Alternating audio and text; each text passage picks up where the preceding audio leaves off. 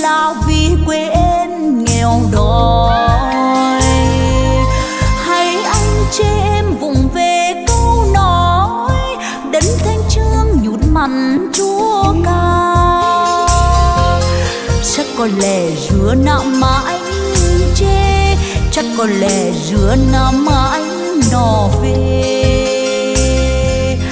Dù cảnh xa bấy lâu em vẫn chờ, như sông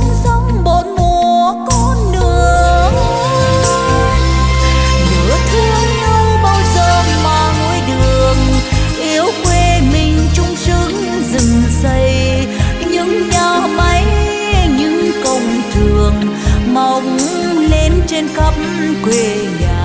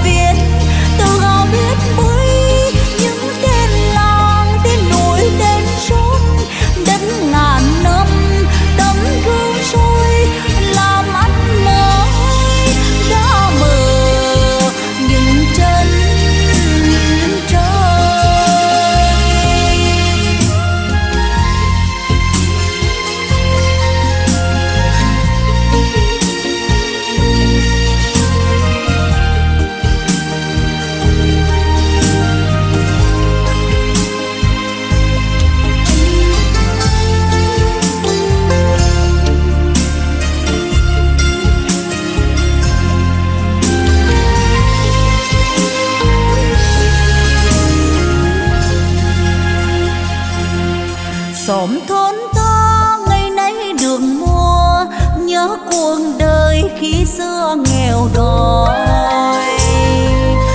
Em ra đi vần nghỉ hoài câu nói, đấng thanh trương nhụt mặn chúa ca. Đất có nghĩa với người đi xa, đất nặng nghĩa tình quê.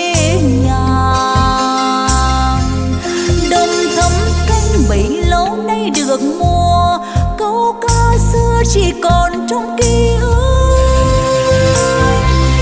Đất thay lá đem về tràn ánh điện những công trình náo nức rừng xây bao trai gái tiếp bước lên đường, viết nên trang sử anh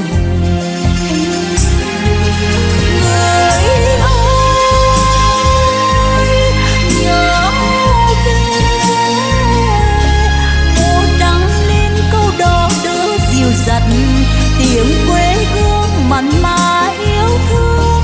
Người đi xa, nhớ về quê mẹ thanh trương. Đất ngàn năm, tấm gương soi được nó đã mưa nhìn chân trời. Quê hương em